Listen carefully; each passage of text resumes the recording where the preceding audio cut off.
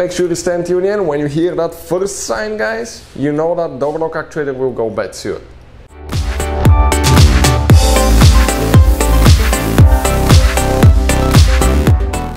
Hey guys, welcome back to Auto Repair guys. Thank you guys for watching and subscribing to the channel. Today will be super helpful video to any of you having a car. It could be almost any modern car.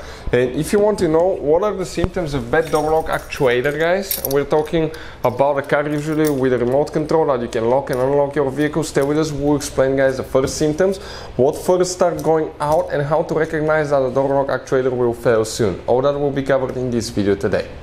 Before we start, let me just tell you a little bit about us guys. Every single car we get here at the garage, we try to make at least 2 to 300 free repair videos. On BMWs, we'll have more than 1000 videos. Why we do all that? Because our mission in the shop is to save you as much money as we can. All we need guys in return, please subscribe to the channel, like the video. That way we can keep making these absolutely free videos. You can see we got another one to work on here recently as well.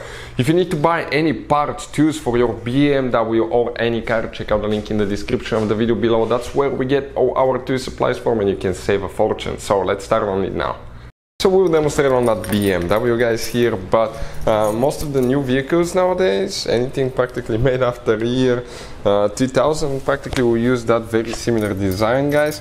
Uh, you can see like when you lock or unlock your car, okay, this is your door lock actuator that will lock, unlock your door. What's the purpose of that door lock actuator? It will be installed in the door, it will be right here and when you close the door, it will keep your door closed.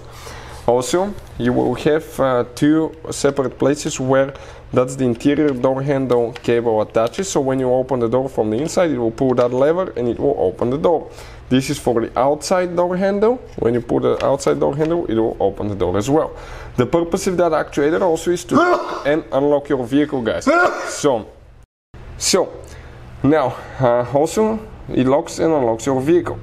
Now, when they first start going out, often guys, not always, but very often we hear here at the shop, you start hearing a strange noise when you lock or unlock your vehicle. We're going to connect the cable now and I'm going to go unlock the car and you will see guys what will happen, okay? Every time you lock, unlock, okay, you see what happens. So let's go in three, two, one, okay, and check this thing out. That noise guys, right there, that's a bad door lock actuator. So that door lock actuator is failing. What it does, it has a plastic gear inside that either cracks and it starts skipping or the teeth get worn and it starts skipping as well. When you hear that noise, you gotta make sure your door is locked because you may think you lock the vehicle but actually it's unlocked. You gotta make sure that the door unlocks as well. And uh, when they start failing, you may have trouble locking, unlocking the vehicle. You hear that noise very often as well. Or you may not be able to use the interior door handle to open the door from inside or outside, depending on how they fail, guys. Uh, another thing, okay, you have a micro switch inside that uh, on many cars will detect if the door is, guys, uh, open. And if the door uh, uh, it tells you the vehicle door is open but it's not. Okay that's what failed guys. Hopefully the video will be helpful. Thank you for watching and see you guys next time